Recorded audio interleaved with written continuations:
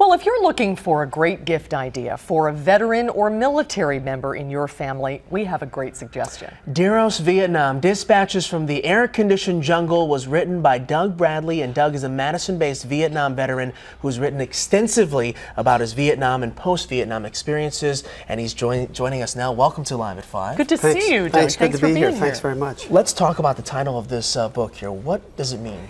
Uh, it's interesting. It stands for date eligible for return from overseas. The Army is great with acronyms. How do you And- pronounce that? DEROS? DEROS. DEROS. And everybody in Vietnam knew their DEROS date. It was very sacred because Marines had 13 month tours and those of us in the Army had 12 month tours. So you knew when your DEROS date was, when you would be leaving. And boy, that date was very, very important, especially given the circumstances. Is this book about your experience in Vietnam? It's based on my experiences, but I, I wanted to broaden it out a bit because, uh, as I, a lot of people don't know, is that there were more of those of us who served in the rear than there were people in combat. Now, it's not to take any, you know, anything for granted there, and to say that that was not that important and critical.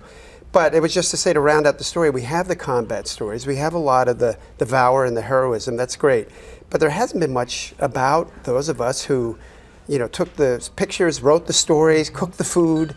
S- mm-hmm. So we were, I was just trying to give a perspective from the guys that were in the rear. So, how did you collect all of this uh, information? Well, I kept a journal while I was in Vietnam. I was a, I was an Army correspondent. Luckily, uh, they even though I was drafted, they made me a correspondent. So I was covering stories while I was there. And I came back home, and I've just sort of off and on been trying to write this. I thought I was going to write the great American novel.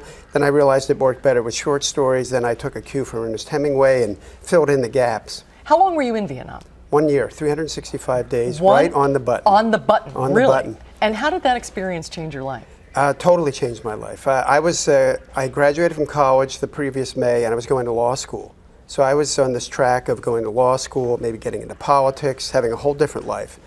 Well, I had two years of my life get, that I gave to my country. One of those in Vietnam, and it just changed everything. Um, who I was, where I was, where I was going. I never would have ended up in Madison, probably. That's true. Yeah. Did you learn something different about your experience in Vietnam after writing this book? I did. I did. I realized that um, there is still a lot of work to be done around that war. Um, the, the men and women, primarily men who came home.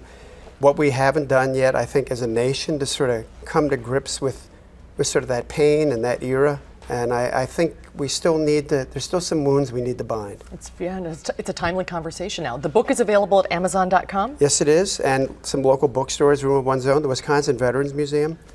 So- Very good. Well, congratulations. Thank you very much. Good to see you, Doug. Merry Christmas.